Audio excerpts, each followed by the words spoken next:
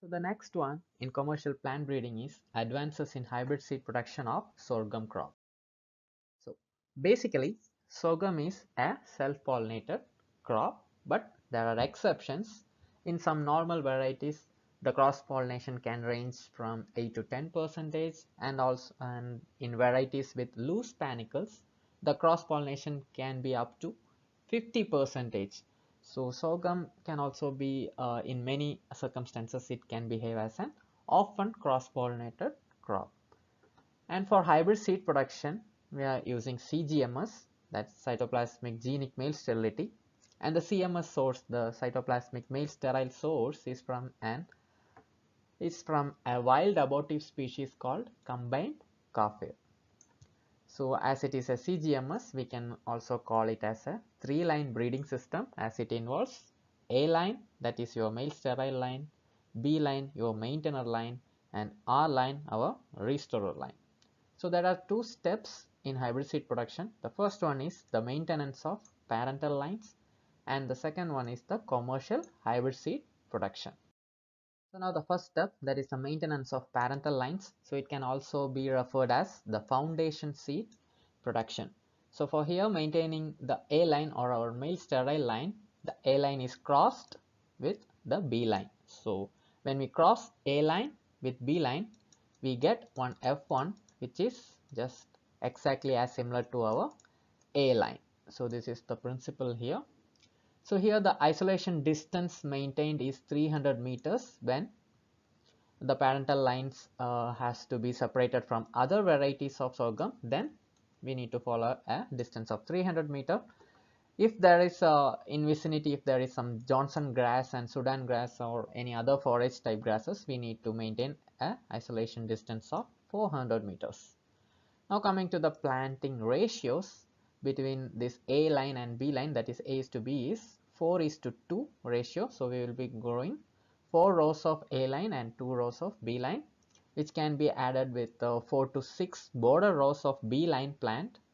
So if we give uh, an additional 4 to 6 border rows of B line it will ensure more number of pollens that are being fertilizing this A line or your female lines. So again coming to seed harvesting so we have to always remove the male lines first that is our B line and then we have to harvest the seeds from the female lines that is our A line. So regarding the maintenance of B and R line, so these lines can be maintained as if it is a normal variety. So where doesn't require any special maintenance procedures, we can just maintain it as if it is a normal sorghum variety but only thing is that we have to follow both field and isolation standards which are moreover similar to that of the maintenance of A line. So now coming to the second step that is commercial hybrid seed production. So it can also be referred as certified seed production. So here the A line is crossed with the R line or our restorer line to produce hybrid seeds.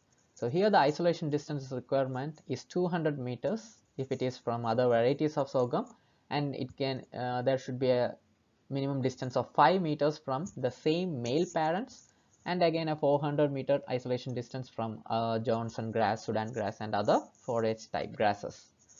Now coming to the planting ratio between A line and R line it is again 4 is to 2 and we can add it up with border rows of 4 to 6 border rows of R lines to increase the pollen supply.